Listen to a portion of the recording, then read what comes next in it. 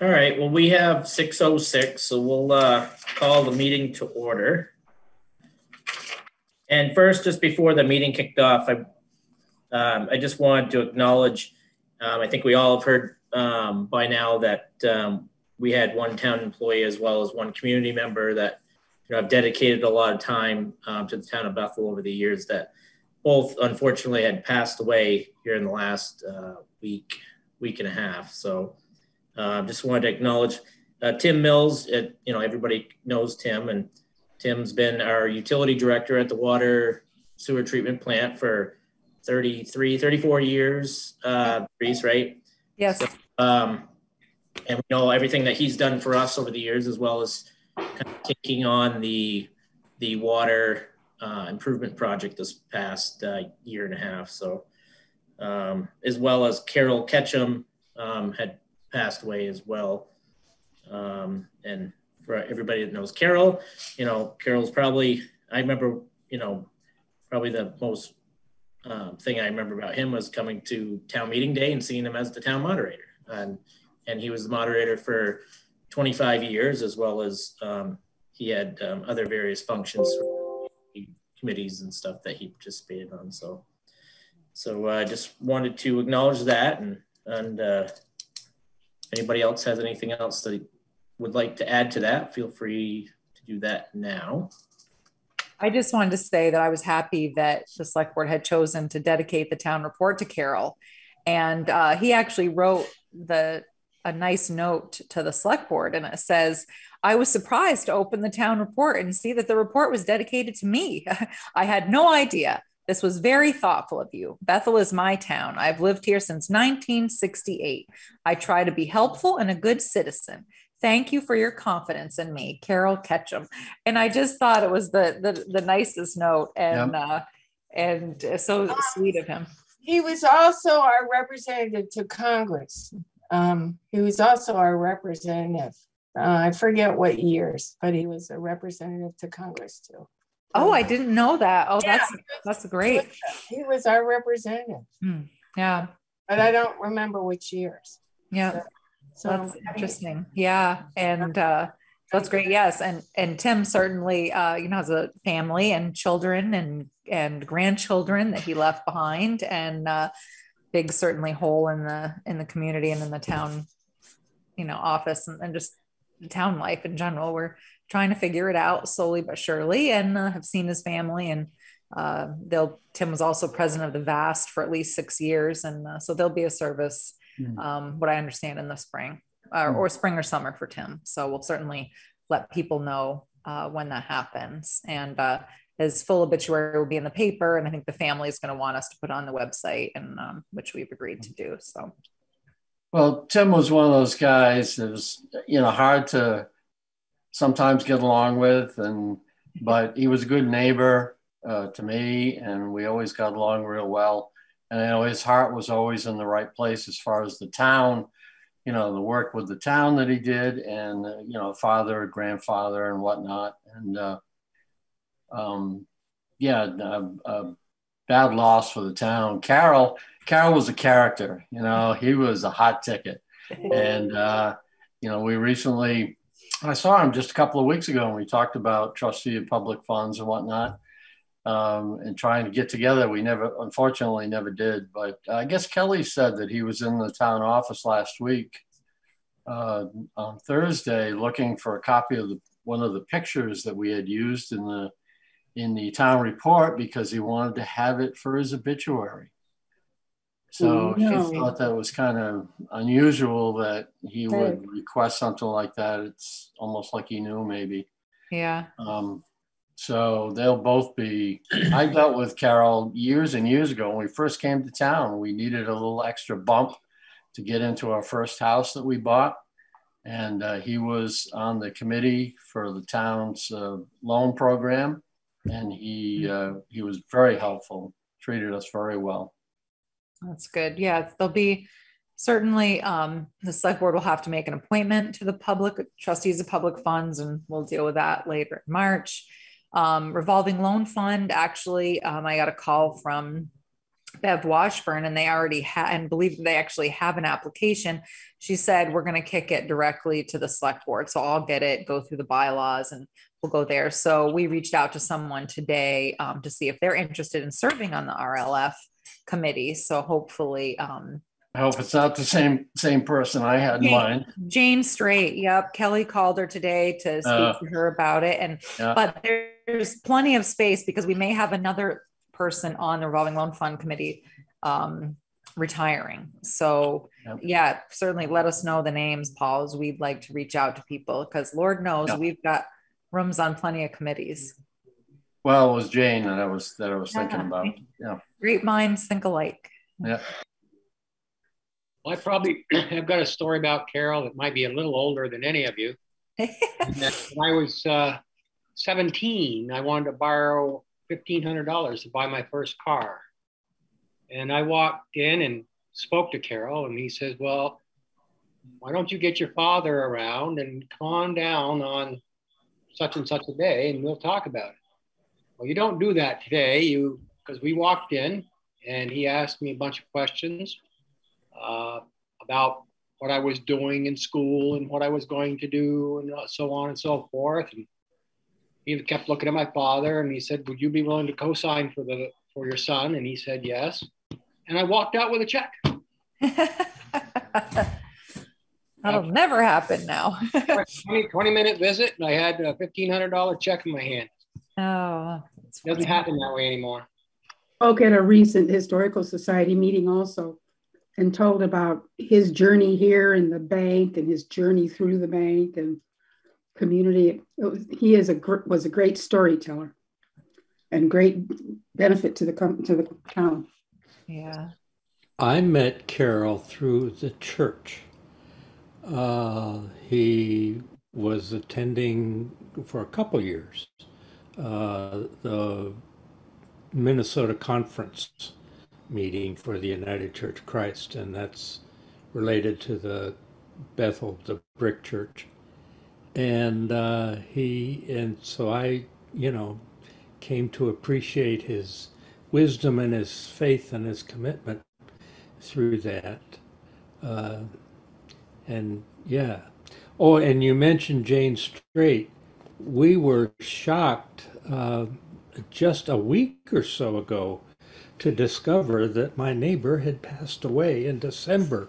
We Yeah. did not know that. Uh, and wow, what a what a shock that was to us. But Yes. yeah. Yep. No, thanks to. COVID and snow and winter and you know everybody holding up. Yep, exactly. No, it's true. It's true. Um, uh, uh, Carol Ketchum gave me my mortgage so I could buy this house, and he told me to make sure that I um, did the neighborhood well by keeping it up and making my house look nice. And when I said he was my representative, it was a representative to the Montpelier legislature for this area. That's what I meant. Okay. Nice. Mhm. That's funny. I spoke with him about most recently about um, the bank in its history. Have has the bank ever taught taught in the middle school and junior and high school financing to the kids? And he said, "No, we've tried, but it didn't fly." Yeah. And I think that would be such an important addition to the curriculum. I think Chris, you have girls that are there. L- Knowing how to handle your funds is extremely important. And he knew it. Mhm.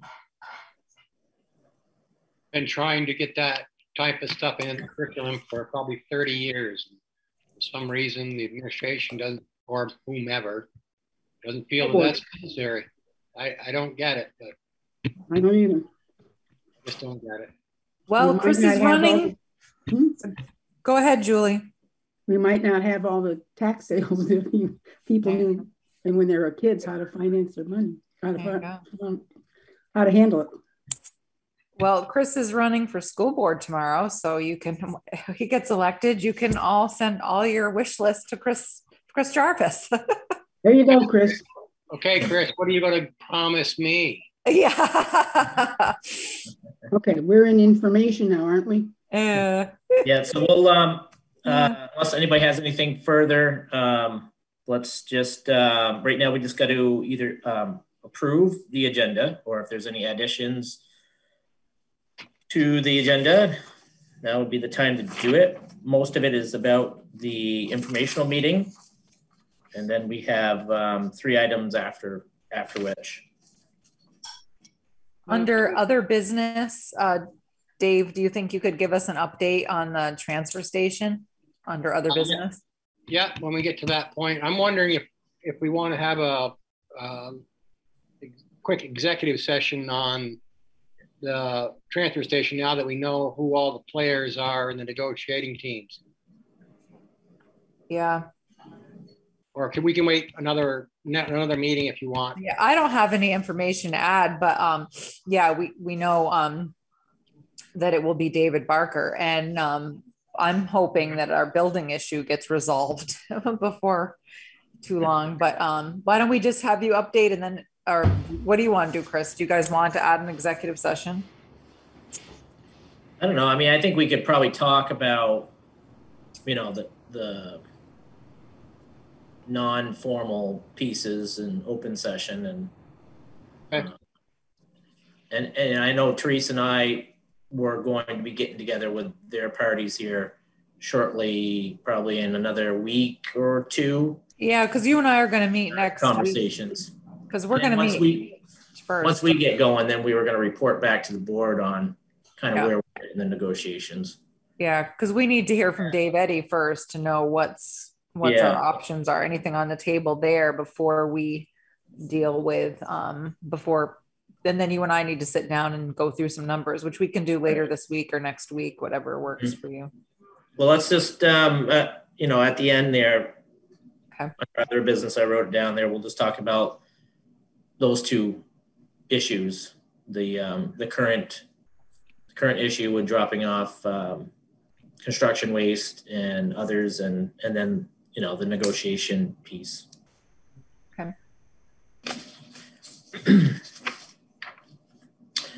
All right, uh, Accept The agenda is written. Second, okay, all in favor? Aye. Ayes, all right. And now we're open It was to, amended, and you want to do it as written or amended? um, we're, we're not gonna technically amend anything, Julie, because Okay. we're gonna talk about those pieces under any other business. Thank you.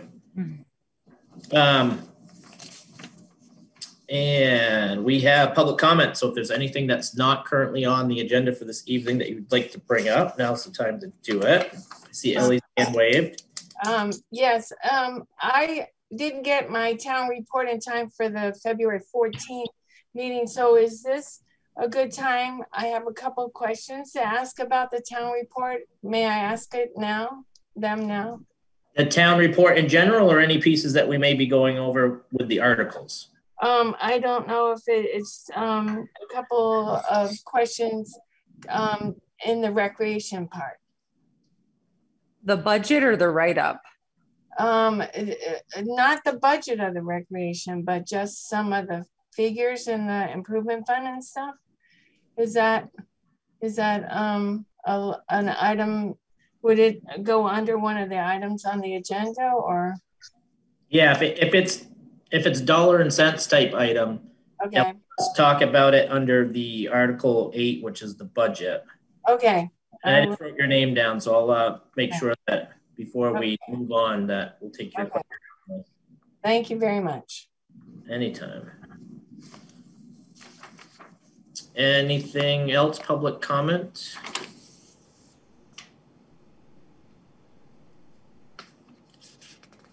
Wow, we're getting off easy.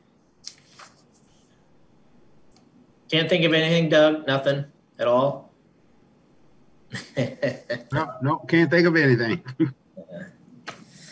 All right, well, other than that, we will move into the informational portion of the meeting in regards to the the town warning and the budget.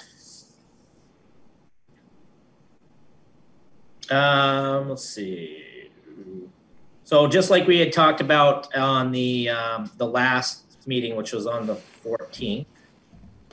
Um, you know, Article One is, is, um, to elect uh, town moderator, um, which, um, as Therese had stated before, then Mr. Benson was running for that again.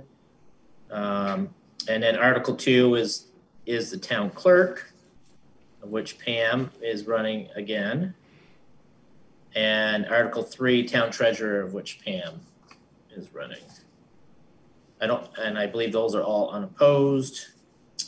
And then Article Four is to elect by ballot a select board member for the term of three years. So this is the current um, term held by Dave Eddy, who Dave is running unopposed. And then Article Five is to elect a select board member of the term of two years, which is currently Lindley's, um, of which um, she is currently running unopposed. And Article Six is to elect by a ballot uh, lister, term of three years, to succeed uh, Mo Brigham. And I believe, unless I'm wrong there, Therese, that Mo is is running for that position again, correct? Yes, yep. Okay. And Article Seven is select uh, trustee of public funds. Um, term of three years to succeed Eric Benson. And I believe Eric Benson is running for that, uh, Yes. correct? Yep. If your name's on the ballot, then they had to fill out a consent of candidate form. So So if anybody has any questions, I'm sorry, flew through those, but they, um, if anybody has any questions in regards to town moderator, town clerk, town treasurer, the two select board positions, town lister or trustee of public funds, we could just take all those questions at the same time.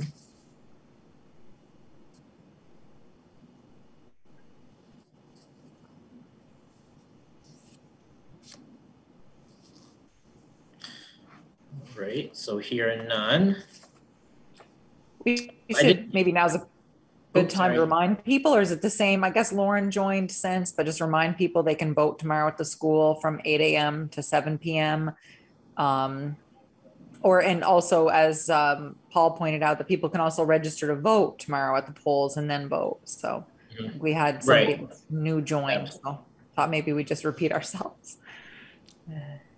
And I think if it's easier, last time, wasn't it easiest for people to register right at the voting poll, so at the school? Because Yep, people went to the town office last time, which then Right. had to send them to the, well, it was the fire station that time, Yeah. but, okay. Right. And people just should bring their driver's license. They need to bring driver's license. I don't know if they need another form of ID, but they definitely need their driver's license. So to register to vote, so.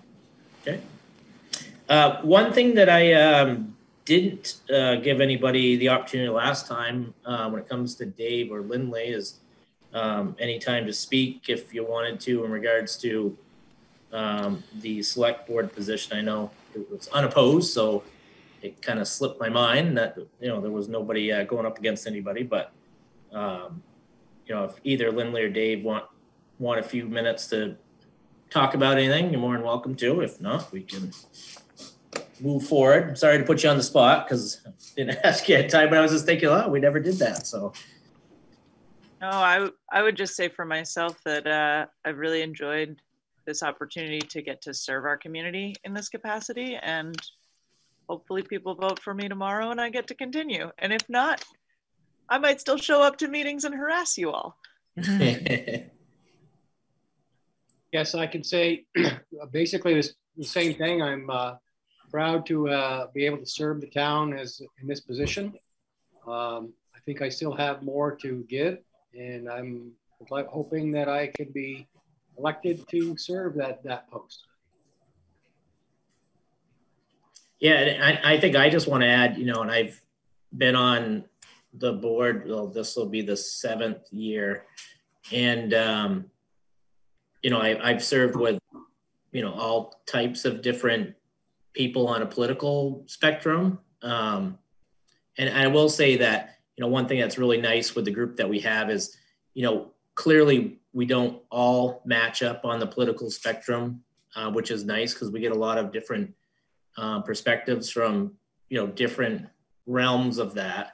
Um, but at the same time, we're able to come together, uh, do what's in the best interest of the the town and the citizens, and move forward with um, policies or procedures or um, any types of other things. And I, I really appreciate the board.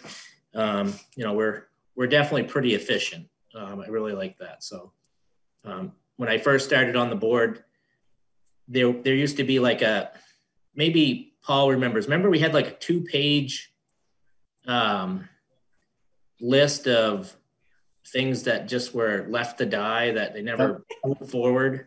Um, To do Yeah. list. I And it was- occasionally. Yeah. and it was kind of like let's i mean let's be prepared to make a decision and move forward and not keep putting us on this two page paper so i really do appreciate it seems like everybody's always um, looking at their their um, select board packets ahead of time we're prepared for the conversations and and just like we've had a few there uh, you know um, most of the time we agree pretty well and uh, other times we're able to come to um, some sort of middle room so really do appreciate that with everybody that we have. It's amazing what a little civil discourse will do. Yeah. Hey, that's the way they all should work, right, Gene? And you know, we- Absolutely. we're all the same, right? And And there's nothing wrong with disagreeing. no, Oh, No, absolutely. In this world, not. though, it seems to become a, a problem, but it's nothing wrong with disagreeing, but coming to a median uh, point at some point in time. Uh, just a respectful discussion and Yeah. sometimes you just agree to disagree, but that's okay. But at least you can bring up all the viewpoints to make an educated decision. That's what it's about. I mean, it could be it could be like Burlington, where they don't seem to be able to agree on the time of day. Yeah.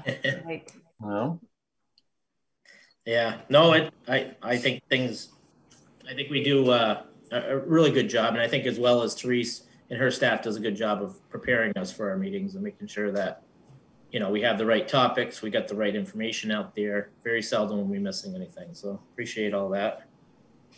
Well, just as somebody who lives here, I just want to say that um, I appreciate all of you. Thank you.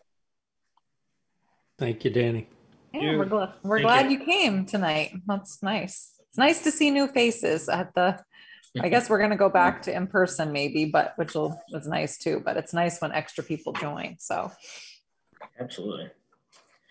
So we, unless we have any other questions in regards to the Article one through seven, which was basically, um, you know, like we said before, the town moderator, town clerk, town treasurer, two select board positions, lister and public trustee of funds. Um, We will move forward, which is kind of the meat and potatoes, which is the, the budget piece of it. Um, as of last time, I just kind of went over quickly last time, as well as this time, you know, the breakdown of the revenue versus the cost. And then what that net um, change is and, and um, how that impacts, you know, us as citizens. So the local revenues, which is the money that is raised um, other than taxes, um, has changed by about $5,000 from last year. And as we were talking last time, um, a majority of these changes are at the um, tax collecting end of things. Um, years ago, we had um, quite an issue at the town of Bethel with collecting taxes and water and sewer payments to the point, you know, quite a bit of people got behind, which resulted in now collecting back taxes, which had penalties and interest. And so in our revenue section, you can see that we actually budget for some penalties and interest um, a year. Um, and as we've talked about over the last couple of years, is as Therese has done a good job of collecting those back payments, we're now going to start seeing less penalties and interest, which is good for everybody. But we have to start taking that revenue piece out of the budget. So we've we've been ratcheting that down a little bit here over the last couple of years. So that's pretty much the biggest swing when it comes to local revenues. Um, and then the cost piece of it, I will just give a, a general overview, um, and then we can go into um, smaller areas like Ellie's got a question in regards to the recreational, and we can answer any any other ones at that point. So the cost uh, right now in our budget is about thirty-seven thousand dollars higher than it was last year. Um, a a majority of the increase comes with the increased retirement um, piece to Vermont, which is making up about 25,000 of that increase. So uh, we found out in July of this past year um, that there was a significant increase of retirement uh, coming. Um, so we had to deal with that with our current budget that we're working in, but also we have to work with that with our future budget, which is this one. So uh, a significant amount of that that cost increase is is due to retirement. Um, that's been a challenge at the state of Vermont, you know, for teachers, for town employees, um, for other state workers. Um, we also, because we uh, we started about two years ago, we started a ditching program inside our public works department. Um, you know, we found over the years that we just weren't doing the type of maintenance on the road that we should to get water off the road so we can last longer when we do things like gravel it or pave it. So we started off with $20,000, I believe. And uh, we've seen that this is a pretty good bang for our buck uh, that we've been bidding out. So we've increased that 20,000 up to 30,000 to increase the mileage for this coming year. Um, we had a discussion uh, October, November in regards to um, uh, speed and enforcement in around the community. Um, of course, at the same time, we're we're struggling a little bit right now on on uh, part-time constable. Um, a lot of the police departments right now are um, are short-staffed, and typically how we get our part-time constables is from other identities like uh, you know Oscar does South Royalton as well as some in Bethel, and and in our our newest um, Justin um, he's with the Rutland County Sheriff, so he comes over usually on what he would call his overtime to do um, in our communities. And what's happened is um, Rutland County Sheriffs are doing mandatory overtime right now, so he hasn't had much time to come over, as well as Oscar's been very busy with with uh, Royalton. So uh, we decided to put some speed signage um, so that we could finish the last two legs of the village area so that all four legs of the village area will have um, some speed acknowledgement signs for individuals. Um, so that is in the budget. Uh, we also have a part-time municipal office position um, to help Therese and and others in the office in regards to either grant writing or some other part-time uh, pieces throughout the season. And then we have um, some wall repair money in there for the town hall parking lot um, to at least get that started. Don't know if it'll fix the whole thing, but at least we'll get started there somehow. And then uh, the 2019 uh, spring flood that we had um, that did over I don't know over a million dollars with the road damage and did another I don't know, we'll estimate it at a million dollars worth of bridge damage. And um, we have paid off, we've paid off all of our, uh, the road damage pieces of it. And this here is to finish the, the last piece of it, which is um, a bridge replacement um, that we have. So we, instead of doing long-term borrowing, we've been paying off this, uh, what called ERAF, um, which is our 12.5% uh, portion of the uh, money. So that's in the budget as well.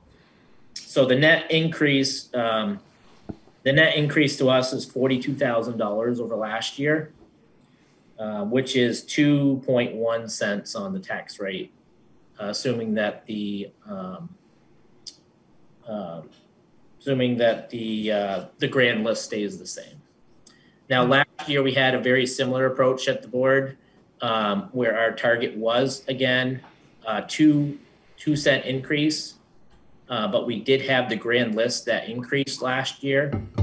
The increase of the grand list offset the two cent increase last year. So um, we did not have a, a change in tax rate with the town last year. Um, so if you take this year's budget and last year's budget, it's really an average of one cent each year. Uh, what I can do right now, that's just kind of the overview. Um, I can open it up. So if anybody does have any specific questions in regards to the budget, I definitely have Ellie written here as number one. So I'll let Ellie go first. Um, thank you very much for you guys' time. Um, um, on page thirty-five, you've done a really good job of listing the grants. And I see that the, the Vermont Foundation three thousand dollar grant and the Tarrant Foundation ten thousand grant is listed there.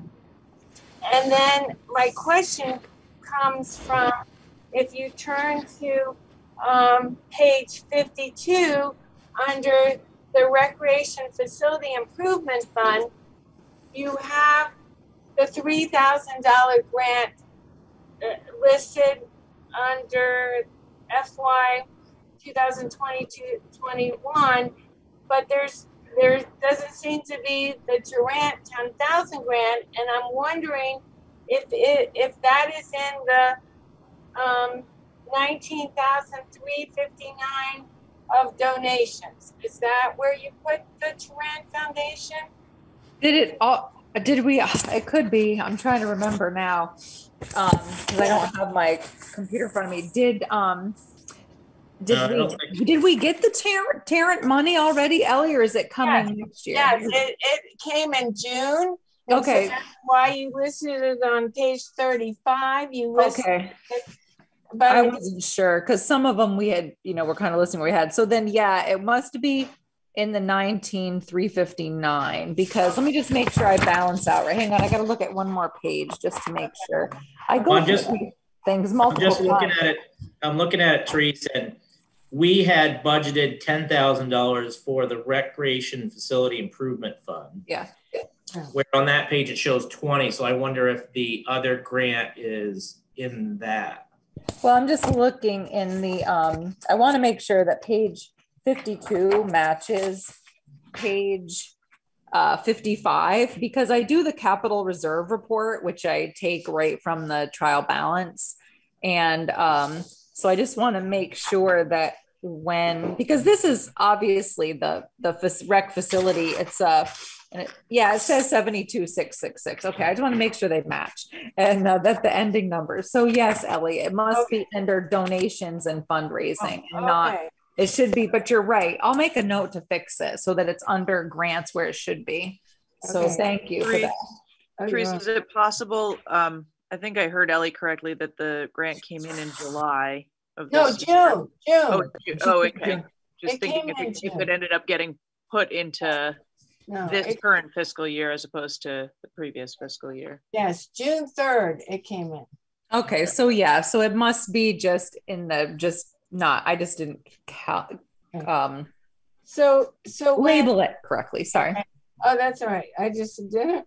And then under FY two, 20, 21, 22, what's the fifteen thousand for?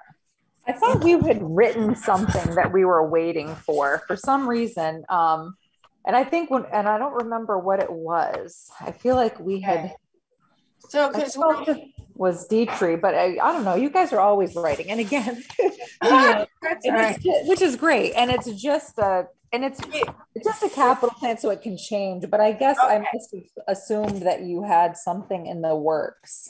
Yes, it's the land water for twenty-five thousand. Okay.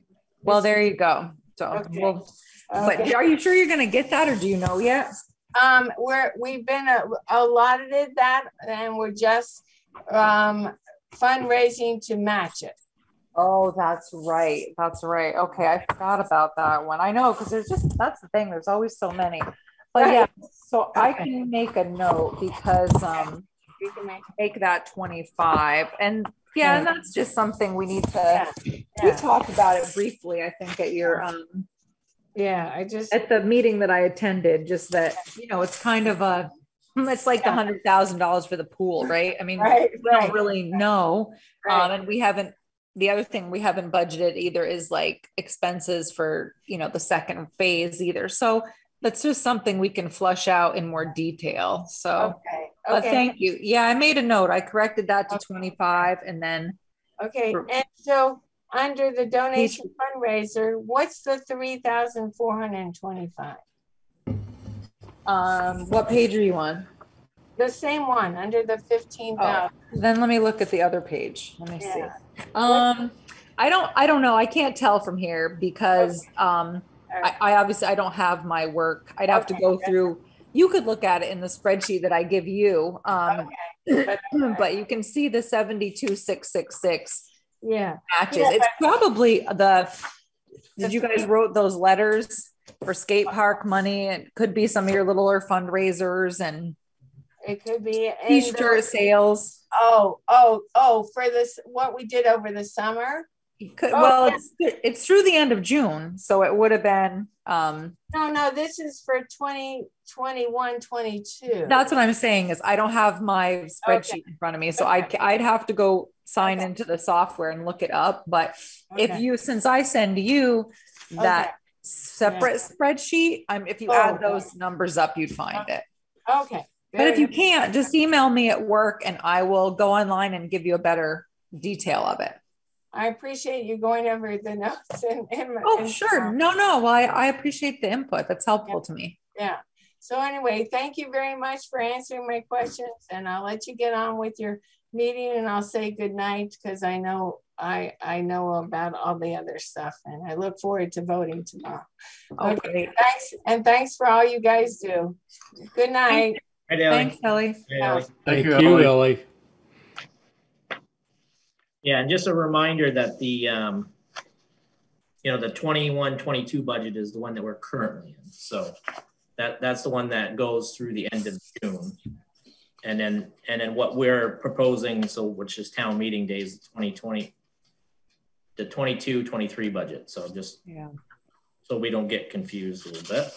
It's always confusing because you're multiple yearing it and It is. And you're 18 months out when we're budgeting, we're budgeting 18 months out. So it's, you know, it's hard to, hard to know. And then this year, like you said, we're dealing with the unbudgeted jump from retirement from 13.84 to 19.5. So we're still trying to, you know, I think I've made that up in at least one department, but I've made it up in three water, sewer, and um, highway, I think, but the others are, I don't know. I'm trying, but we started the year 30,000 in the hole. So because of that unfunded retirement. So Right. All right. Any other questions in regards to the budget itself? I just, just want to state too, one thing in the constable's budget, besides the two flashing signs, was the money for a portable sign. That had been something that people had asked for, especially like on Church Street. Um, so it's a portable speed sign, so we can, you know, hopefully do some targeted enforcement. So I just wanted to remind people that that that is also um, in the constable budget. But again, all this happens after July 1st Yes. of this coming year. Yes. Yeah. And there's a little more detail in regards to the budget on page 41 and and the town report.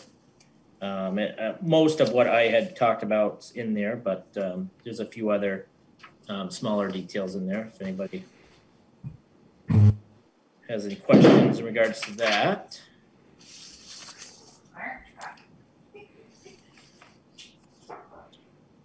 So unless we have any other questions, we will move on from the budget itself. Um, the next piece of it, uh, Paul, did you want to go over the human services piece again? Yeah, just take a minute. Um, the Human Services Advisory Board meets, um, we solicit um, information from the various nonprofits that apply for assistance or appropriations from the town. Um, we have a whole schedule of information that we request from them, and uh, that comes into the town office. And we usually meet uh, the first week of December to go over those requests. Um, this year we had uh, the usual group, uh, uh, Sandy Farrell and Stan Capron, and our I always refer to him as our fearless leader, Carol Ketchum, uh, and myself. Uh, and we also had a member of the public come aboard um, this year, Scott Putney. he had a, um, a lot of information about some of these agencies from his dealings with the school and with his own uh, family uh, issues. So he was a valuable part, and I understand he he wants to uh, permanently join the committee, which is a great a great thing. So we get together and we look at the requests that are uh, sent to us. We look at the financials. Uh, we discuss each request uh, uh, in depth, and then we came up with uh, the appropriation list that then we then pass along to the select board for approval, and then along to the taxpayers. The town of Bethel has always supported these nonprofits. It's always been a, a big part of the. Uh, oh, I'm sorry, hearing hearing the puppy in the background. But anyway, uh, we always supported these nonprofits and uh, help out because uh, we specifically ask how they impact the town of Bethel. And so we have good information about the number of clients and how they uh, how they really interact with the townspeople of Bethel. So it's it's money well spent, we feel. And uh, if anybody has any questions, or if you know of a of a group that's interested in uh, getting uh, onto the list, uh, at the bottom of the town report, we eliminated the, the picture, which was terrible, uh, and we put in some instruction uh, as to how you can sign on to the program and, and uh, get in touch with the town office. And uh, we'll put you on the list and get you involved um, with um, some of these appropriations. So thank you.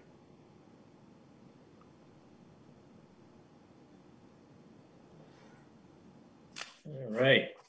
The only other thing I would add is, uh, you know, one of the downfalls of Australian ballot is people don't get to individually discuss uh, the various agencies that are being applied for appropriations. Um, so hopefully we'll be able to get back to a in-person town meeting where if there are any questions or presentations from the from the various groups that we always encourage them to come in and, and talk about this services, uh, we'll be able to go back to that at some point in time. And if you're looking in your town uh, report, uh, pages 70 through 75 has the human services pieces of it. So it'll it'll talk about the total appropriations as well as it'll break down each appropriation um, to the identity and kind of a, a, paragraph or two of what what services they provide. Um, so those are all in the book as well.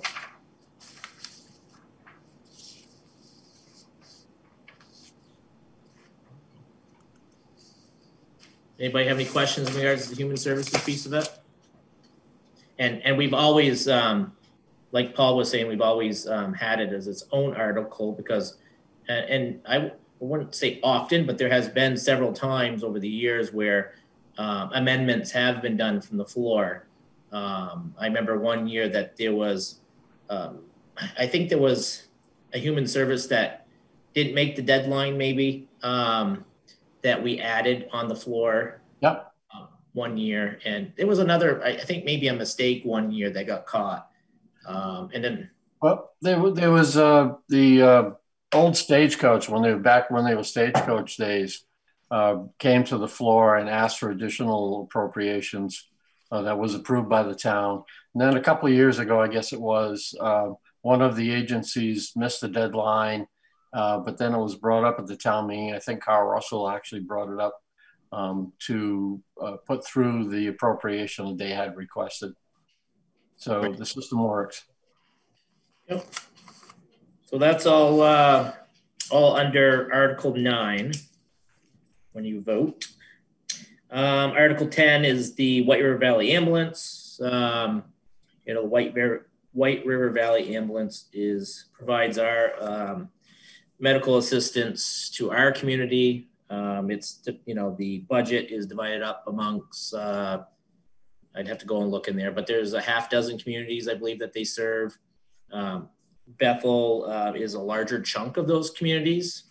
Um, and, you know, usually the kind of the services change by, you know, kind of, you know, how inflation works um, with budgets. So I believe that one was up a couple of thousand dollars this year. Um, we're talking about a $127,000 um, item for the year to service the town of Bethel. So, Yeah, Bethel and Randolph for the larger. It looks like there's Barnard, Bethel, Braintree, Brookfield, Granville, Hancock, Pittsfield, Randolph, Rochester, Stockbridge. So Randolph is the biggest chunk, and then Bethel. Then it looks like um, Braintree, then down to Barnard, etc. But that's the towns that look it up. They're on page uh, 69, 68 and 69 of the town report. So you can see how that that gets broken out there. That's always been its own um, voted in article. Um, I was just kind of looking. I would, I would add a personal uh, thank you for having the the E Squad available. Uh, we've had occasion to use them, and they are nothing but professional and on the ball. It's great. It is nice. It's great to have that service here. Yeah, they, they used to give us some breakdowns of information per town. Doesn't look like they do the per town breakdown, but they just have a total breakdown. Does that look right, Therese? They do the per town breakdown on page 69 of the um, of the cost, page 69. And then 68 is their just their letter in general. We all pay the same per capita. It just depends on um, you know, obviously how many people in your town. But yeah, so they do a breakdown on page 69. Hmm.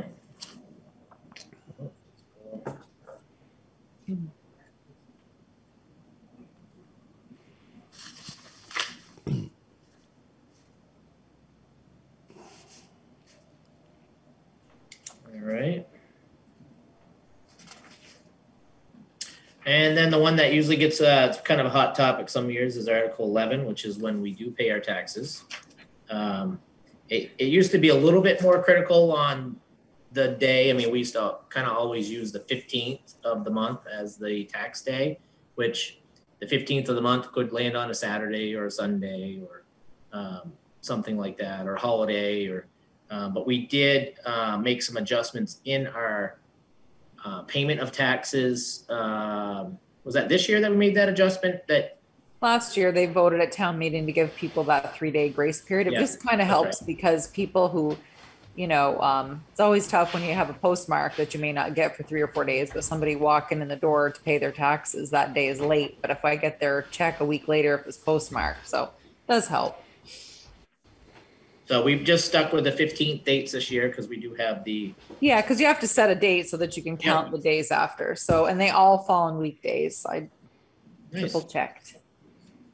Well, I remember one year, you know, we we did actually change some of the dates. One was like a 16th and one Yep, was to 15th. make sure they fell on a Yeah. weekday. Yeah. So we should be covered there. So that is everything when it comes to the the town warning. Does anybody have any last minute questions in regards to any of the budget pieces or anything that may be on the warning?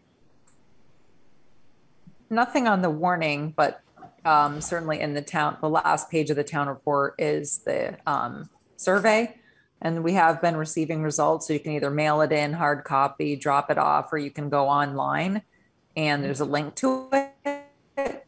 So, and we have been getting quite a few um, people filling the survey out. So we're going to leave it out until April 1st. And then it'll be good because then we'll be able to take some, the data from it and help us figure out, you know, some of the goals for the select board and myself for the next year by based on some of the results of the survey. So encourage people to take it.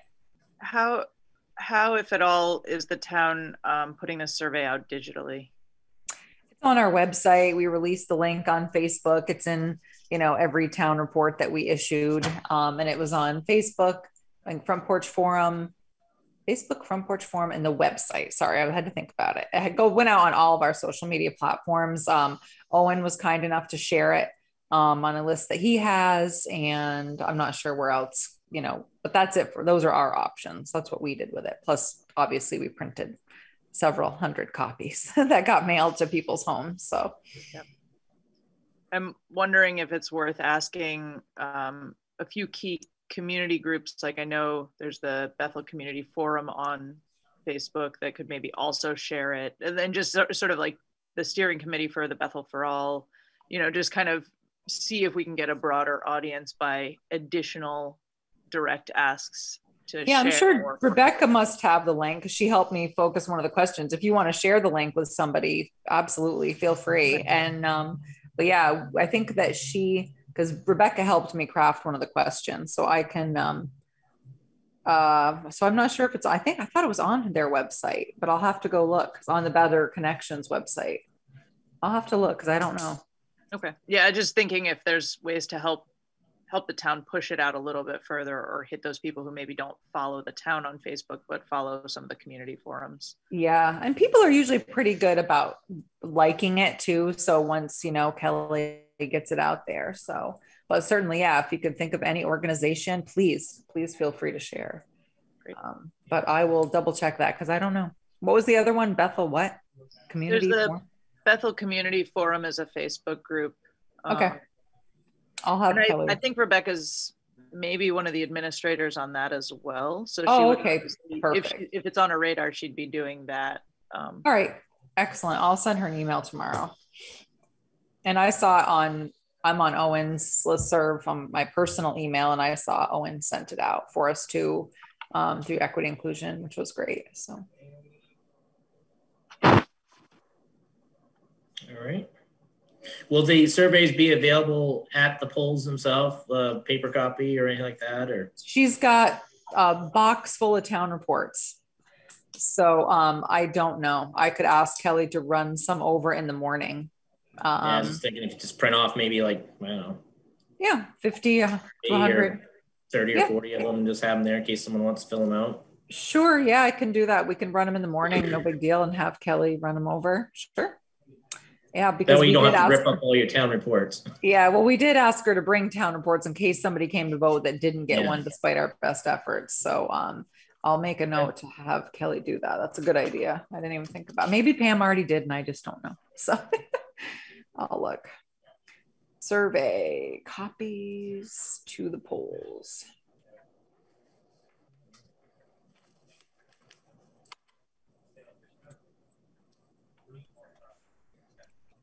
And again, the, the polls open at eight o'clock and they close at seven uh, tomorrow evening. And like we had talked about at the beginning of the meeting, mm-hmm. uh, you you can can be registered on the spot. So make sure that you bring your driver's license um, with you to the school itself and see Pam.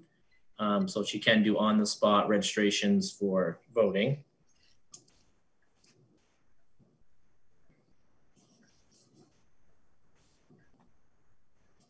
And as always, for us that count the votes, you know, it's always fun to uh, do a write-in for Superman or Bugs Bunny or whoever else. But it, every time that happens, that's something that we have to count. So it takes a lot, lot longer to uh, count the votes when there's uh, write-ins uh, all over the place. So.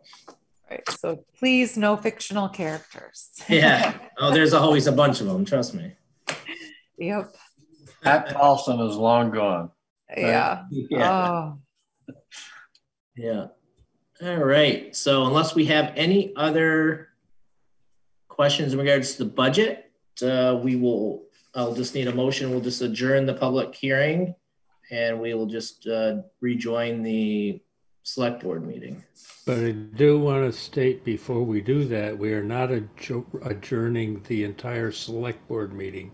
We're only adjourning the portion reviewing the uh, town meeting.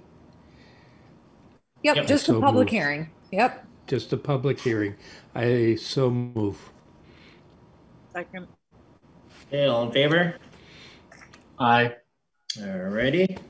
So now we are back into the regular scheduled select board meeting, which we had talked about. We have three items on there for this evening, as well as we'll have uh, another discussion under other business. Um, So we have the reappraisal agreement changes. Uh, Yeah, We we- reappraisal last time. Well, you signed it and you made a motion to award it to NEMRC, which still stands. I just need you to re-sign the contract because we had to, they didn't like some of the changes that we put into it, which were fine. One of them, I referenced the RFP, which was more for the insurance, but it also brought up this whole three-prong inspection thing. I'm not even gonna go into it with you. So anyways, basically, they just want us to re-sign with a couple of changes. So I actually don't, um, so So I no think- motion then? well, I think that the motion is to sign the revised contract. Motion to not award, it should be the motion to sign the revised contract. What were the revisions, Therese? So one of them in the first sentence had said that we would, um, that I referenced the RFP. Like I said, you know, in the first, let me find it here now. It's right here. Um, bum, bum, bum. I think in the first part of the contract, I had said, um, that basically the description of the work and as outlined in the RFP, well, there was some portions of the RFP that talk about two prong versus three prong. Um, it was inspections and and they couldn't guarantee that and ended up being fine with the lister so that was one of them. The other one was on um, the payment schedule. Payment schedule we had worded in there that we would start payment um, obviously when they started and that if there were and that we wanted the payment schedule to be in conjunction with the work and the timeline. Well we got some um, we didn't want them to ever get ahead of us frankly was the concern. But we actually ended up getting some um, good solid information. I had never dealt with ed Clodfelter that lister who runs the portion for NEMRC and he assured that that's not going to happen that they're going to start in time and you know 40 years he's always been on time. So that made sense and they weren't willing to take the contract unless did that. He also made some good points but we kind of hammered out a couple details. The only other change i've made oh it still has wrong is uh, you had the mailing address wrong um, for the town of Bethel. And that was it. We just, and he and I had gone back and forth about uh, lister assistance, but that wasn't in the contract. So it was the date, uh, referencing the RFP and the payment. So it makes sense now that we actually got to deal with a guy who's going to be doing the work. It worked out. So I just need you guys to re-sign it um, because I didn't want to make changes, obviously, on the one you'd signed prior. So it would just be a motion to sign the revised contract. So last time, just kind of looking through so last time we had twenty-four payments, so they were gonna be monthly payments over twenty-four months, is that correct? Yeah. And then is it still the same, gonna be Yep. twenty-four payments? Okay. Yep. Yep. The payment amount is still the same and the schedule is still the same. So Okay. it, it's fine. All right. Now that we have some assurances from them, I think that the listers and I feel a little better. So we just need a motion to sign the revised contract to NEMRC for one hundred twenty-one thousand eighty dollars. So moved. Second. Okay, all in favor? Aye. All right.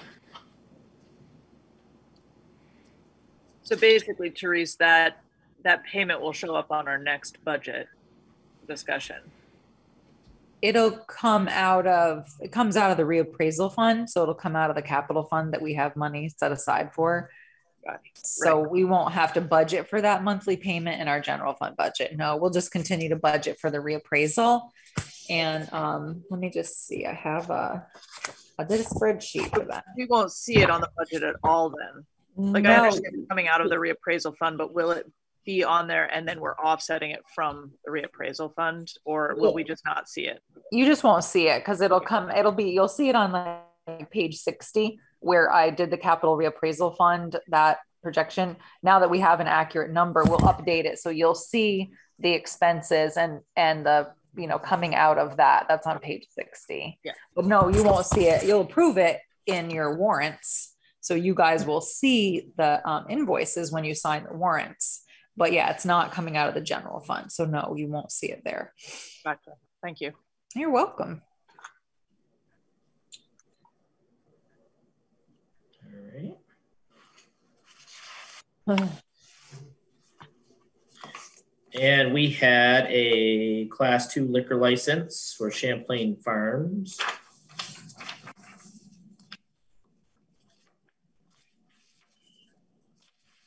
So Teresa, I had a couple of blank pages in my packet here. Is it just the two pages for the license? Oh, I don't know. I didn't scan it to you. Kelly did. Um, must Okay. be. Uh, because if you didn't two get it, yeah, maybe it was. Yeah, I had the same. I, I think those are just two pagers. and- Yeah, just.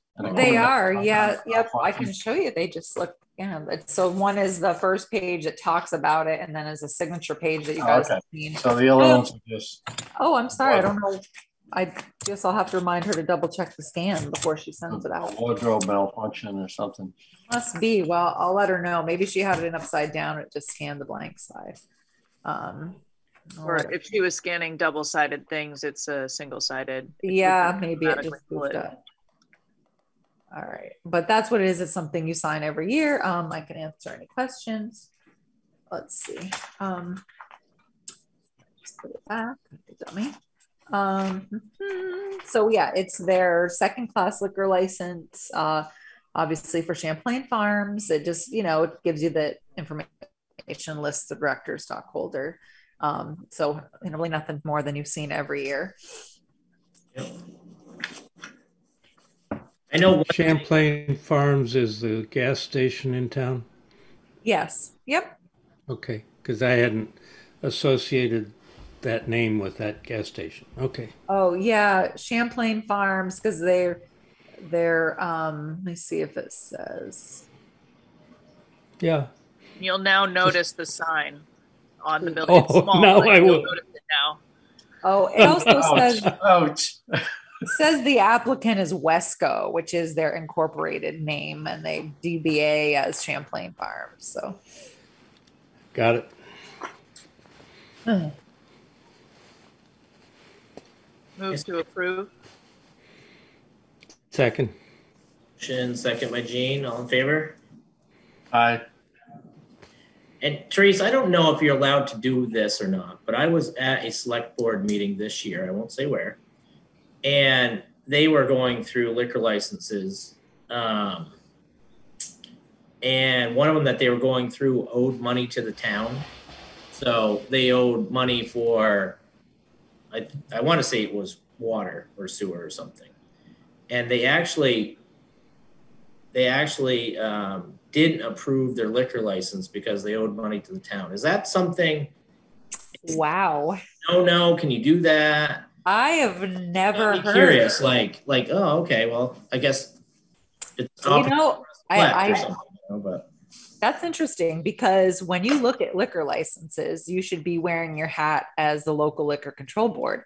Things that we used to do in another town were they wanted, I used to call the local liquor inspector and they wanted to know if people had been in violation, had they been following the rules, what were they doing? So Mm. it's interesting because for you to do that, you'd have to be wearing your sewer water commissioner hats. I don't know. I guess if we run into that, we could look it up one time. But luckily, all of our liquor license people are caught up on their bills. Yeah. But um, well, I think uh, maybe not all of them, but getting there.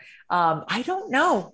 It seems like I bit- thought it was it interesting. seems a bit unsavory because wouldn't Yeah. you want them to? That would be their call to increase their business. But Yeah. I guess I'd have to ask the liquor inspector before we do that. But I did got thinking after the fact. I'm like, well, that, you know, if it, if you're allowed to do that, it's not a bad idea. Like, you know, if they Yeah. time you know what? I'll have and be square with the town, but I'll um, ask our local liquor inspector. Because I don't know. I'll ask him actually. I'll email the guy and find out. yeah, yeah, I thought that was interesting, but That is pretty hardcore. yeah, not that- not that I thought that um, we had anybody that was outstanding on that, but just if you're allowed to do it, it's probably a good opportunity to review. yeah. I guess. Um, Well, yeah, I'll ask him. I don't know. Patrick, I think is his name. Or maybe you have to have both your hats on that night and like put a know. I'll find out. sewer board to talk about it to move it back. I don't know, but all right. No, I was just curious. I meant to ask you at one point and I forgot. So seeing that had brought it up again. Uh, right. Uh, then we had the Vermont Municipal Bond Bank certificate for project completion for the water improvements. I think that's pretty straightforward. I think everybody knows we had the town torn up for two years, so it's done. so when you guys come in this week, um, I'll put stuff on the clipboard, so that'll give you some stuff to sign, plus any payroll or payables that you didn't sign last week. So if people can swing by, we'll get that done. Do you have the um, the revised um, total amount? Nope, because I'm still have my hand out. Okay. still waiting for more money. And uh, actually had a call from the bond bank today, uh, Ashley Lutz, and she actually was looking at our audit and she, I just scanned her everything and she's going to crunch the numbers on our, um, we have a, a bond from the town hall, a RISB, they call it. And right now I do these uh, 8038 CPs twice a year and the feds actually give us money back on our interest. But um, so she had seen that it was a variable rate and we were close to payoff, but she thought, she said she, before she knew that it was a RISB, she thought maybe she could save us some money um, on interest. So she's, I scanned her all that stuff. So, and she asked me about the 2.8 million. I said, ah, I still got my hand out. I'm waiting So- for them to give us a more to buy it down. So the town hall, not to get off subject, so the town hall one is a variable interest? I yeah, but and sometimes bonds are, you know, a lot of times bonds like that that you do for that 30 year period can change. Um, but it's almost paid off. So okay. and she didn't realize that with that bond, um, Build America bond, you actually write two times a year to them and there's a calculation and they give us back a percentage of the interest that we pay. So I scanned it to her, so she's gonna see if there's any savings there, but um, but as far as the 2.8 million, no, I don't know the final number yet because I want more money. so from the state, they hosed us. There's a bunch of COVID money. They should pay. And uh, so so far we've had we've eked out a little bit, but Mm. I'm gonna I'm gonna wait. Did, um, when you get a chance, Therese, can you just, um, maybe let the board know if we have any other variable rates that are out there that may, Um, should be right here. Uh, Let me you know, the feds are supposed to do some rate hikes this year and, Yeah. you know, if there's any opportunities for us to pay off loan or move loans or, you Yeah. know. So we're on page 63. Um, I just don't know what, yeah, page 60. So we have a bond that's coming, that's paying, paying off on 23. Um, I'll have to look at the water. I'm trying to see if it says, uh, so th- these are all bond ones. The People's Bank, uh, I'll have to look at that one for water. Um, she was looking at the town hall ag municipal bond bank. So I'm not sure. I don't think so, but I'll double check. Um, because the USDA is, that's the one she's talking about. And then our others with the bond bank, we had one with Mascoma, um, which of course Mascoma was, but that was all your debt retirement and the bond bank won't touch that. So we actually, um, need to look at the Mascoma one and see if they will, once we've made a couple of payments, if they'll let us freeze the rate, because I think it changes after a few years. But the other, the bond bank ones are set. okay. No, it just might be a good exercise to look through and see if there's any of that Yeah, let me look at the People's Bank we can one. protect ourselves before uh, any of these interest rates go up. Yeah, any variable rates. Yeah, so we'll see what she comes up with. She's gonna run our numbers through her calculator and some calculation program and see. Um, and we'll see what we can do. But I'll make a note. Alrighty. Uh, town managers report. Is there anything left there, Therese? We haven't gone over. Just making myself a note. Um. mhm, Hang on, let me just look at this real quick. Okay, tax sale. So we sold three out of the five properties. Um, the two of the, the, um, properties that didn't sell unfortunately are the same two that didn't sell in 2019. So we did hear from one of the owners that I hadn't heard from. So, um, we'll see what we can't do with him. And there's now some COVID, extra COVID relief money.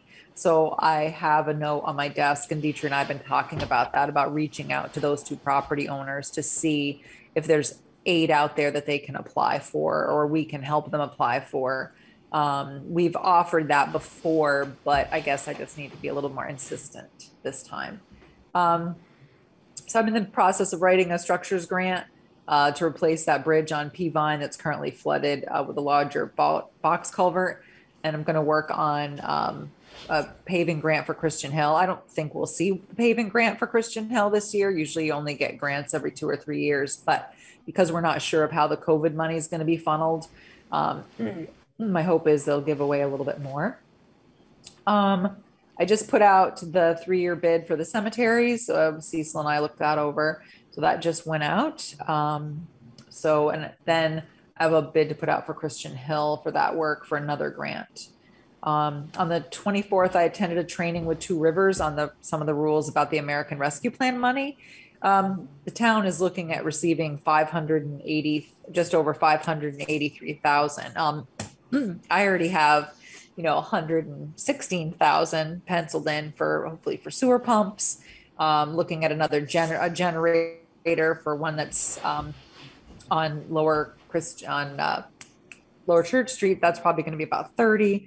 Uh, maybe a new roof for the sewer plant. There's plenty there to do. Um, so what they had suggested is that we don't spend any money prior to March 31st because of the reporting period.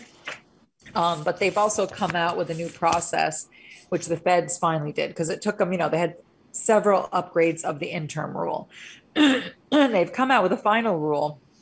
And it looks like what they're doing is pretty smart. They're basically saying, look, if you're getting less than $10 million, they're going to give us the option to accept it all as um, lost rev lost revenue, and then we'll be able to spend it, you know, within the parameters like you know, for water, sewer infrastructure, and all the other things that they're saying. But the bonus of that is if we accept it, even though we're it's not necessarily all lost revenue, but that's the what the Fed's loophole is. Accept it as lost revenue.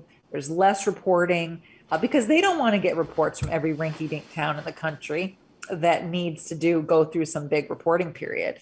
Um, so that's so, but they'll have more information out now. But the final rule, and I just got an email today that they finally had another um, uh, pamphlet on how to. I say pamphlet; they're like ninety pages, but how to get through the the rest of it. Um, one of the good things is too is now that they finally changed some of the rules, and if we take it in as revenue replacement, we can interpret that pretty broadly to any service that can be provided by the government.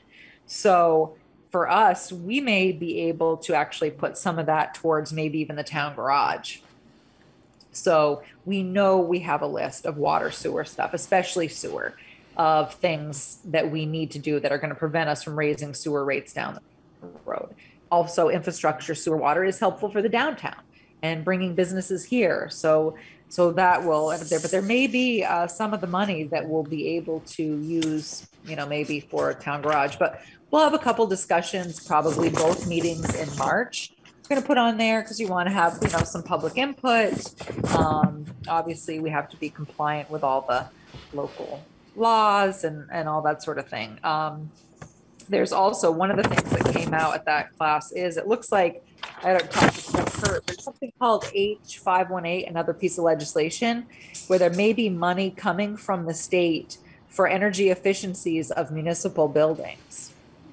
Well, wouldn't that be lovely? Because you know I need to put a new roof on the town hall or town office and insulate and insulate like upstairs the attic and replace the roof. So and with the town garage, that's part of what we need to do. So um, you know, there may be money and hopefully we can leverage our ARPA money to you know, not every grant source is going to allow us to leverage with ARPA money, but some will.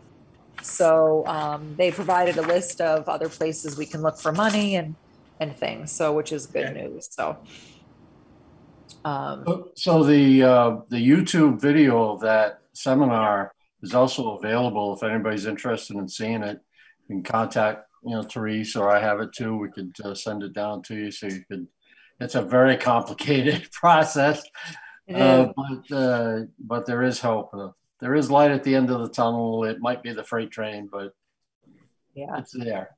Yeah, exactly. And uh, you know, it's pretty.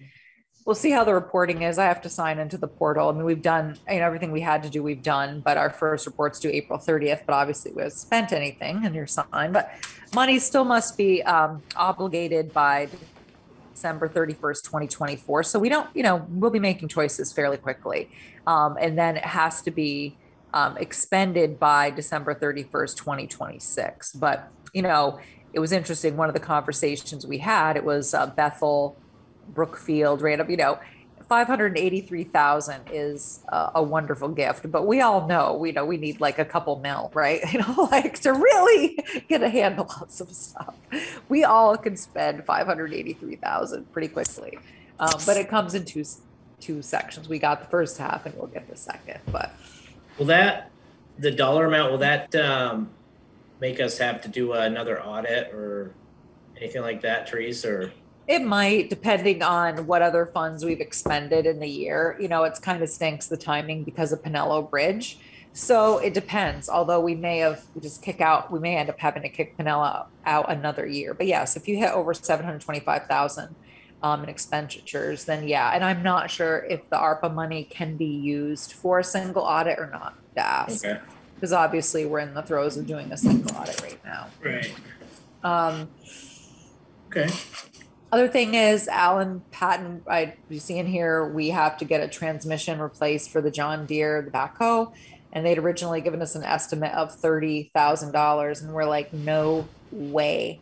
So we, um, Alan reached out to Nortrax, which was bought by, I think, United Ag and Turf and got somebody on the phone there who called John Deere because our warranty had just expired.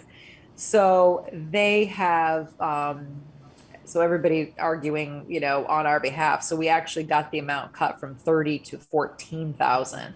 So it's um, going to have to come out of the capital equipment fund. I've talked to the members of the capital equipment fund and, um, but it, it's insane. We, you know, they don't know right now if it was, um, and they won't really know till they get the thing torn apart.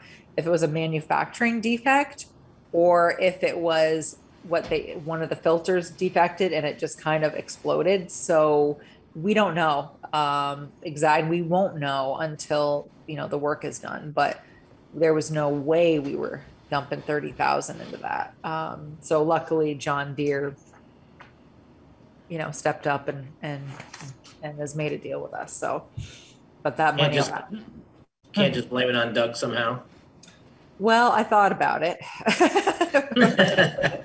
No. Everybody thought if we could maybe ding his, you know, withdrawal, you know, a couple Yeah. months at a time from his retirement, but Yeah.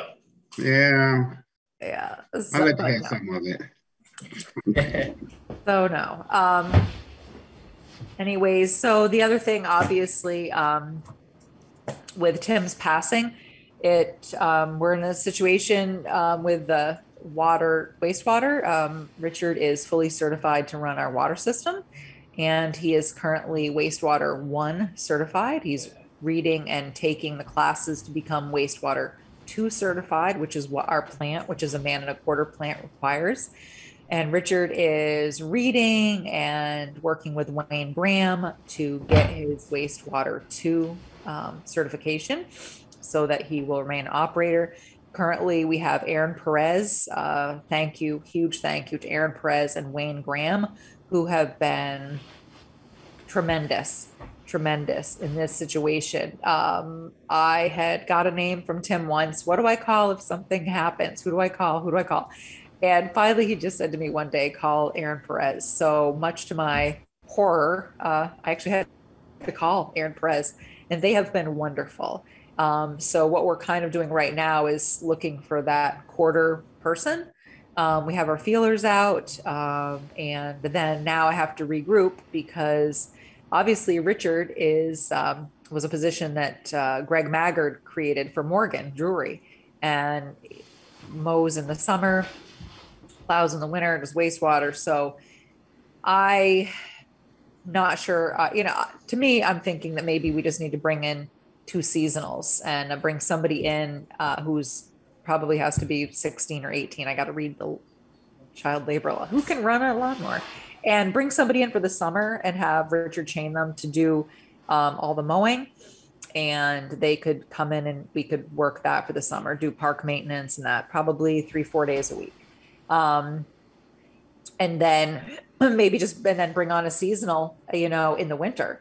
So it may behoove us to try that because obviously if we bring in a seasonal, it's no benefits, this sort of thing. But um, you know, I need some more time to uh figure out the best position, you know, the best situation for us. Uh, Richard and I, I you know, are just kind of getting through what we're getting through right now. And God bless him, he's working a bunch of hours. Alan, we've talked to Alan about you know, uh, bringing in somebody, Dave Bergeron, maybe he did some time for us before um, and, and helped us out recently. So hope maybe he'll can come back and do a little bit right now so that Richard uh, gets a break. But um, so we have our feelers out. So is Wayne. I've been in contact with the state. Um, they have been wonderful. And uh, one of the things that the state said was we are very lucky that Tim ran our system. Obviously, he won he was a wastewater operator of the year. He was a water operator of the year. And she said, I would be really worried about your plant if it had been, if it was in another town. She's like, but we all know how Tim was and that your plant's in excellent shape. So we have six months to replace it, but it certainly won't take Richard that long to become a wastewater two operator.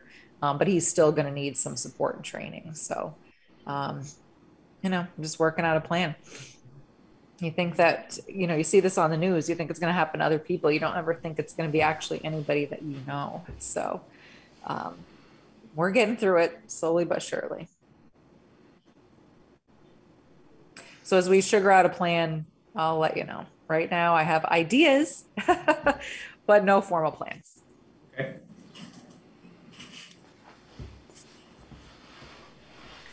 That's all I got for the town manager's report, unless you guys have a question about something in particular. Okay, here none.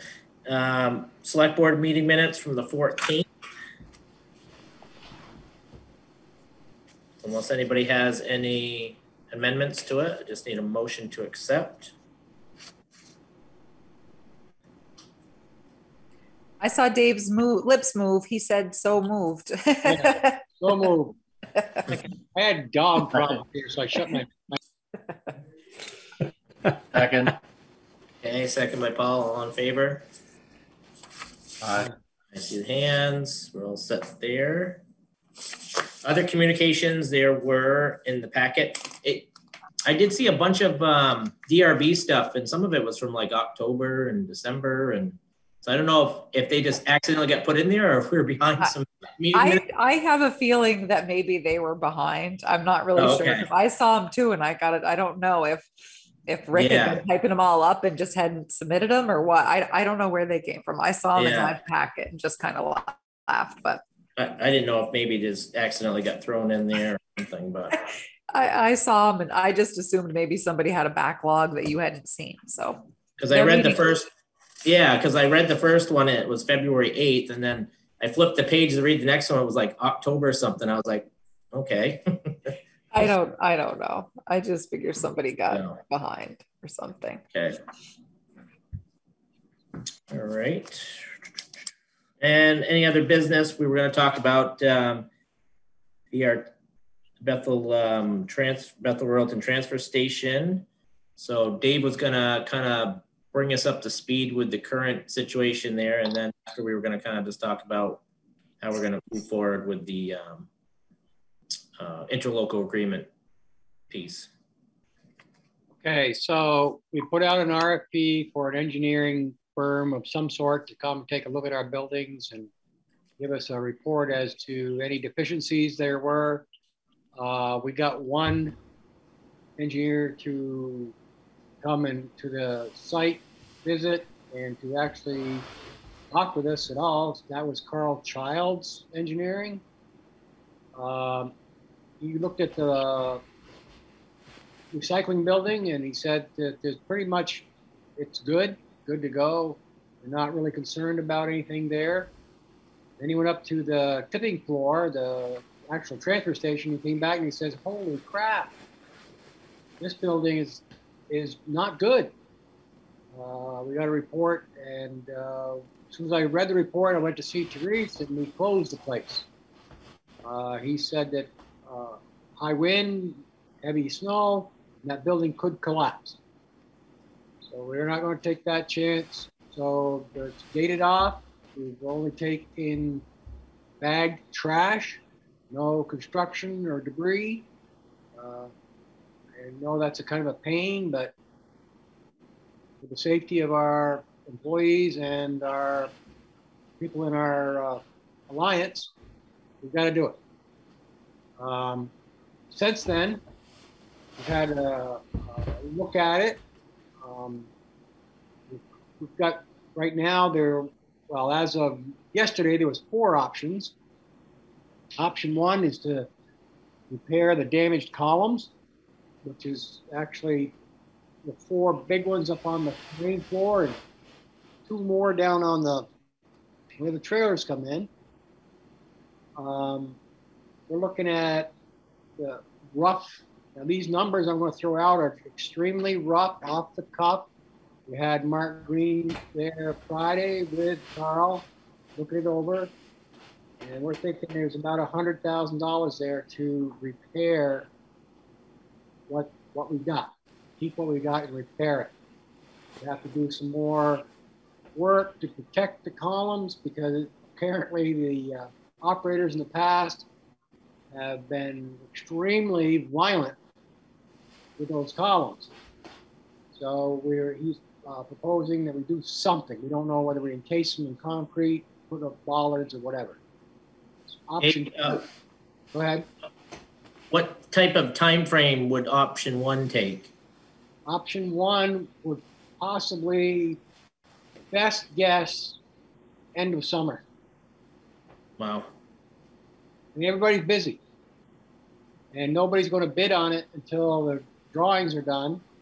And Carl left on vacation, well, leaves on vacation tomorrow morning. So he's not going to have a drawing for them until mid to late March. And then we got to put it on an RFP to get bids done. Uh, and then everybody that does steel is crammed up, busy. And Mark said that he would fit us in this summer somehow. And if we go with uh, the town of Bethel's policies, we're able to single source anyway. So, I mean, I don't know if you ever met Mark, but he calls a spade a spade, and uh, he actually had some things to say about it, but he still needs the drawing. Option two, tear the building down and put the new building. That option, uh, again, I have no idea about the timing because I haven't, I was uh, been busy. I haven't had time to try to contact building people, but uh, EF Wall was there a week and a half ago, and they wouldn't even touch the repair. And a new building, he said, is somewhere between 275 and 350. So that option, in my my opinion, is an option, but that's all it is. Option three, uh, Jen has done some talking with, I don't have the gentleman's name, but from the guy from Casella. They would come in and put up a new building, but we would have to sign a contract with them to, for them to haul our trash for 25 years. And for, and there would be a fee with minimal uh, increases. No numbers were ever out there, and I think Jen is still working on trying to get him some numbers so that we as a board can look at it. Boom. Option four, which as of today, went down the toilet we are hoping we could take the building down and do some wind mitigation and use it uncovered. And state statute says no, you will have a roof. So that's where we are. Uh, money wise, we owe the engineer $1,800 as of now, the work he's done. Uh, we put a halt on doing any more until we got looking at these other options because if we were going to put up a new building or do something with Casella, no sense of paying him 15,000 to design and repair if we weren't going to do it. So Right. when he gets back, well, I, I can't say because we're having a meeting tomorrow night. We'll have another meeting a week from week from then, whatever. We've got two meetings in the next two weeks anyway. We want yeah. to talk about these options and see, as a board, where we want to go. Abe, uh, I was kind of thinking outside the box. Is there, is there any possibility of switching, so where the recycling currently is, and, well, let's say, let's say the, the structure that's damaged, let's say we remove the roof, right? Make it structurally safe. Could you move the recycling up to the current um, dump area? And then could you move the construction waste piece to where the recycling currently is and do it that way? I, I think the modification that would be needed, because you have to move personnel. You have to have a building so that you can move personnel. Because uh, you need the tie person to be there. You would have to, I don't know how you get people on and off the scale and be able to see what they're doing. If you're, got their personnel up on the hill. Uh, my first gut feeling without really digging deep is no. Yeah, Jerry asked me, um, called me last week and asked me about, you know, cash flow and how much money they had and this and that. And I said, look, I don't do cash flow projections for you guys. I didn't do any work on your budget. So I told him that what that, that Royalton has a line of credit of a hundred thousand dollars. So he ought to think of that as his budget um, to get something done. Um, yeah, I wasn't sure because I know we used to dump trash down below, but it was really just bag trash. I know Jen told me that when you were they're pushing it off out back and hauling it, that there's one of the containers that's really hard to lift. But I hadn't, she sent me the information from Casella, but I haven't had a chance to read it. And um, so I know that we've re- fielded phone calls already. People are upset about construction debris. Um, we did call East Montpelier and we had all their hours and put them out, and the price is cheaper per ton. But of course, people would need to budget, you know, and bill their clients that they're going to East Montpelier instead of Bethel for C and D. Um, the other trash, because I had hoped we could just take. I had hoped we could just tear the building down and use the slab, but then Jen told me today that the two leach tanks are underneath that slab, and she said, you know, we already paid to empty those, and it's not cheap.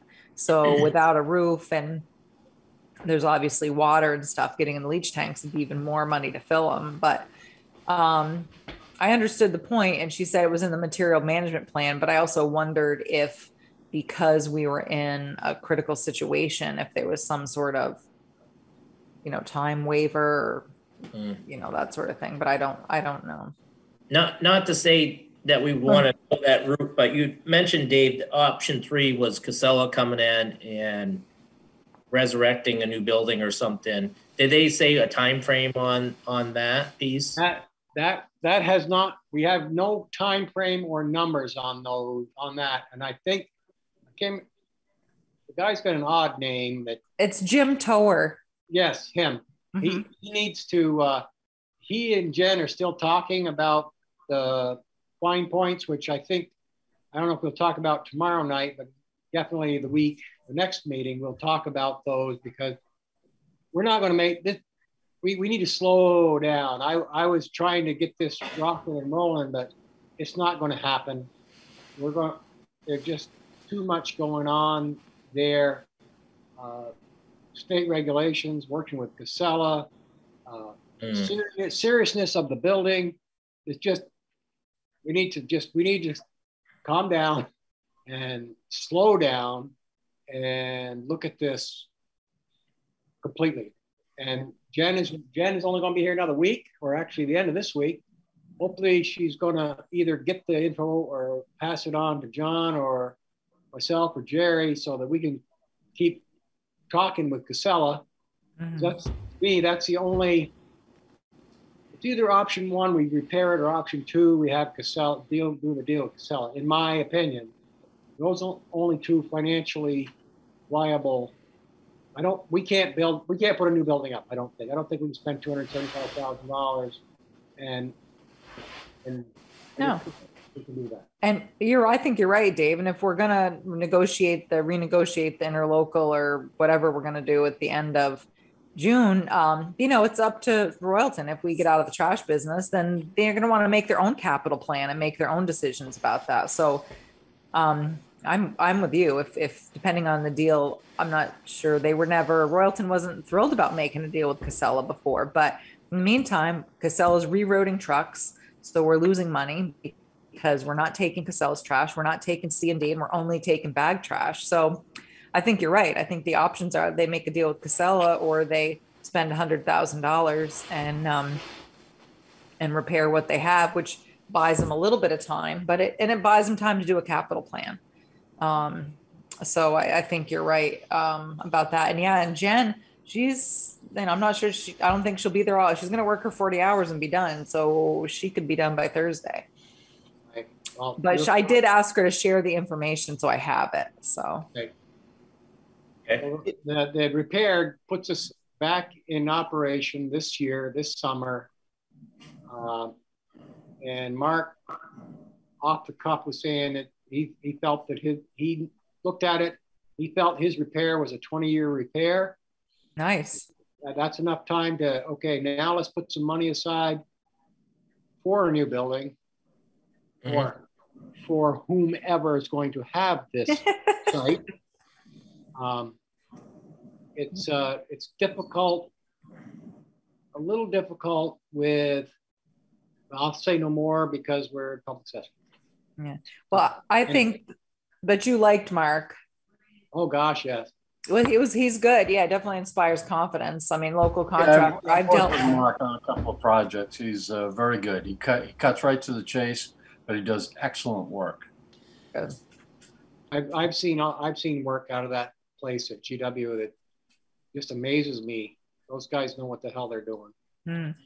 Well, hopefully you'll have some more information from your meeting tomorrow night. And Well, no, we won't have any tomorrow night. We just got to decide if we're going to pay Carl how much we're going to pay Carl. because we, we, we got, I need to get some more information for the next meeting. yeah, The building thing, I think, and the Casella thing are, are big. We've got to have those numbers before we can make any more decisions. Now, are they, are they, are they big to the point where this needs to go to the owners of the property in the Royalton and Bethel to discuss this, or is this small enough to stay at the local level? What are- I mean, what are your thoughts on that, Dave or Linda? Are you saying, is this up to the BRTS or is it up to the select boards? Is that what Right, yeah, that's what I'm saying. I don't see anything in the interlocal agreement that has a dollar amount attached that. I thought uh, BRTS was um, running the show until there was a, a, a impasse, and then the select boards would uh, step in and uh, take care of it. I don't know unless somebody can tell me differently. Um, I think personally, if we're going to spend $100,000 or more, it would be wise to put to present to the select boards those options and with a proposal that this is what we think we should do and why. Mhm. Hopefully, we would both boards would jump on board because, well, they would not have been involved with all of the legwork and whys and wherefores. Yeah, because I know, I know that was a question that we had when we were looking at some amendments to the um, interlocal agreement. And I know we never ended up, um, we talked about it quite a bit in regards to, you know, at what point does it become the select board's matter rather than the local board? Um, and we never associated a dollar figure, but I think the joke was at that time, like if we were going to do something big, right? Um, facility, you know, something large at the facility, then it would go back to the board. So I guess that's just kind of what I was Yeah, because you're right. That asking one, that. but- that amount in the interlocal agreement was blank and both boards, Yeah. both the town of Royalton and the town of Select Board, Mm. Bethel, when they met, talked about that. I think um, that if they were gonna, if the BRTS board wanted to make a deal with Casella, then that would probably require going to the select boards because it's the property owners and they'd be making a contract deal for a building. So that may end up kicking to both boards. You think, Dave, if you were entering into a contract with Casella? I, well, I, I think so. I, uh, probably more so than the repair, but I, I think Yeah. even the repair, it should be floated by the boards and, uh, and so they could at least hear what's going on, have input, and so that if they get tagged as like, what the hell's going on, they would have some information. I think the hard part is uh, the select board, you know, the majority or the, all of the BRTS board members in Royalton are select board members. So they already have a majority of select board members on the BRTS board. So they're in the loop. Whereas obviously we have you and Lindley um, and then Penny. But yeah, so I don't know. I guess we'll figure out as it shakes out. In the meantime, I know we have a lot of itchy contractors who are wanting to hurry up, hurry up and take C and D for roofing, but it's, you know, it is what it is right now. I mean, I, and I think I'm being very uh, conservative when, when I say end of the summer. I mean, it's just talking, looking, pointing. I mean, it's going to take a while. Again, it's going to be mid to end of March before we have a document. And then uh, even if we went straight through to DMS, they are straight out. He said that he would find a way to get down for it take him about a month of work there at the building, um, and probably another month of uh, building the pieces in his shop. So there's good look at two months of work, you know, and then he's busy, so he's got to Yeah. make room. And I is it hard to find steel? He And is doesn't, steel didn't seem to bother. him. Oh, good.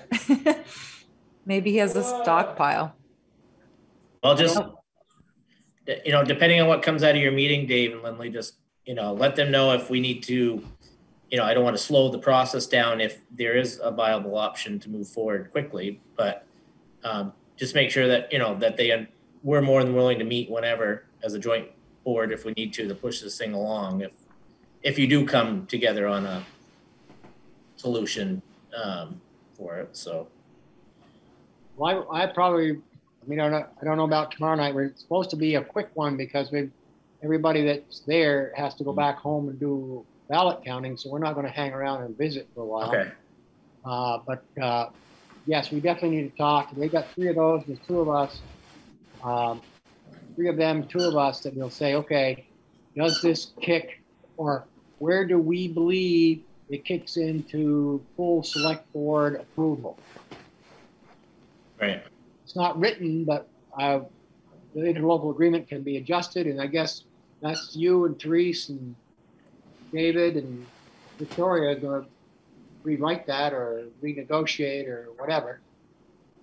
Yeah, and on that piece of it, Teresa and I had talked, and we were going to reach out and see if we could start the communications with Royalton um, at some point next week. We want to get through uh, town meeting day, so I don't know if we'll actually meet next week or we'll have a plan for the following week. But that's that's our goal is to is to start the initial negotiations and then bring it back to the board.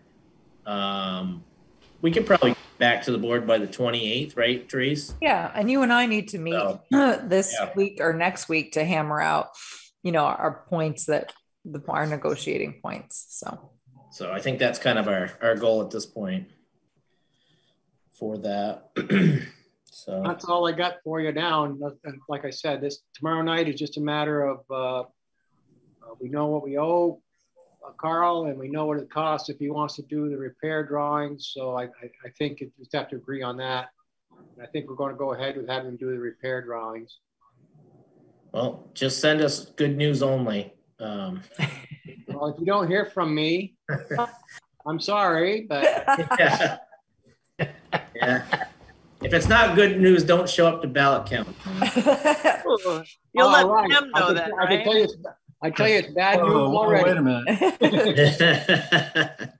well, thank you, Dave. I appreciate you spearheading this because otherwise you've gotten so much farther than than it would have otherwise. So I appreciate all your efforts. I'd like to say it's been fun, but that would be a lot. Right. Um, so Chris, Chris, the only other thing after BRTS under any other business is um, this was our last meeting that we had discussed doing Zoom. I don't know what you want to do, um, what you all want to do in March, if you we're going back to in person or what. So um, I just don't want to forget to discuss that because I won't know how to warn your next meeting. Yeah, I mean, I kind of looking over the, um, I was, well, I was look for a couple of things. I was looking over the state data as well as CDC's uh, new guidelines in regards to mask wearing and, you know, public meetings and things like that. And um, it, it appears right now that Vermont is in the um, low risk category. I guess there's 72% um, of the territory in in the United States that they're classifying low risk, and then there's 28% that they classify high risk. And the the new data out is, you know, obviously mask wearing um, and and or you know mitigate in person meetings in the high risk places, but in the low risk they've gone as far to say that uh, masking is not mandatory, um, and obviously you know um, meetings and things like that are, are something that we can get back to. So data wise, I guess if we're following that, um, and Vermont falls into that category that, you know, I'd be fine with going back to in-person starting the 14th. It's kind of weird because the meetings are the exact same days in February as they are in March. So I know it threw me off too. it's the 14th, I guess, would be the next one. So Yeah. uh, if you guys are all fine with that, I'm fine with that. Um, we can still continue to offer the hybrid option. Um, Sure. You know, we seem to have worked the, it's not perfect, um, but I think we've worked the bugs out so that people can um, join remotely and we can hear everybody pretty well. We finally figured out the um, speaker in the hall. And so I, Mhm. mean, I think we've cobbed it together pretty well. so it looks like I, I had saw Gene look like he had thumbs up, uh, and Lindley, Dave, Paul, you guys are good with that? Okay. So okay. we'll plan on back to in-person at the town hall, um, for the 14th then. Okay, and I'll let um ORCA know so that we can go back, so they can assist with the hybrid, um, and we'll go back doing that. No, plus you'll probably have things in, uh, being sworn back in for, um, select board members and things like that as well, right? Yeah, I have Kelly reaching out to people. Probably we'll do some of the standard stuff on the 14th, newspaper of record, blah, blah, blah. But um, reappointments will probably happen on the 28th. Some of the basic reappointments can happen on the 14th, but I do have her reaching out to everybody to see about, you know, people being reappointed. We obviously have, still have space on the planning commission. We have now, we will, a public trustee of public funds, a select board member, a select board will have to appoint um, to fill Carol's seat. Um, we'll Thought have we a couldn't- space on, we'll have possibly two spaces on the revolving loan fund committee. So we'll have a list, which will get published of spaces that we're looking for, but we've been looking for volunteers for years, so. Nothing's new. We just have some more positions open, unfortunately. So when do we do our select board reorganization type meeting stuff? The fourteenth, um, because 14th? Chris and Dave will have to go to the town clerk's office and Right. um, Kelly will administer the oath and then the fourteenth will be an Lindley and Dave. organizational meeting. I'm sorry, who did I say? You're Chris. assuming we're getting elected. Oh, well, you're the only ones on the ballot. I'm feeling Well- pretty good about your chances. So, But, so yeah, I'm and sorry. then we'll, we'll have it on the, you know, usually we'll have the first part of the fourteenth meeting would be the Yeah. appointment of the chair and, and Yep. any, any other changes that may or may not happen. Exactly. And you have a certain, there's a list of annual appointments that, or annual business that you have to take care of every year. So we'll Sure. do that too. But um, yeah, so Lindley and Chris, Lindley and Dave will get there. uh, um, sorry, we'll get, um, well, if you get on the select board, you'll get sworn at too. So it'll possibly in multiple Sworn in, ways. sworn in. Um, Sworn win. yeah. So uh, you'll have the swearing in and do all that. But yeah, we'll restructure on the 14th. So Alrighty. Did we have any other business come before the board? Oh, uh, one thing I just wanted to, so I, I sent out um, Therese's self evaluation to all the board members. If you haven't received it yet, uh, let me know if for some reason you can get it. So the goal would be at the next meeting on the 14th that we would have an executive session just for the board members to go over Therese's um, evaluation for the year. And then we'll follow up on the 28th meeting with uh, the in-person evaluation with Therese, if that works with everybody on the board. So, And I'd like to wait and do the goal setting in April once we have the results of the survey, because some of the results of the survey I've seen right now, um, it may, you know, it may, it'll definitely swing a couple of projects that maybe we want to focus on. Um, yeah, I think that'll be helpful. Chris, if you could send that to me again, I would appreciate it. I I will. think I'll I've make received- sure. Um, I'll double check, make sure I had the right email. I thought I sent it to you, and I, I'll send another one. Uh, for some reason, you don't um, get a hold of me, and I will. Uh, Yeah, cyber the cyber spooks have been playing funny with my email recently. So I've had a number of people in town who said they have that my mail's bounced. oh, gotcha. Okay, I'll take. Uh, a, I'll, I'll take a look on that for you. So. all right. Thank you.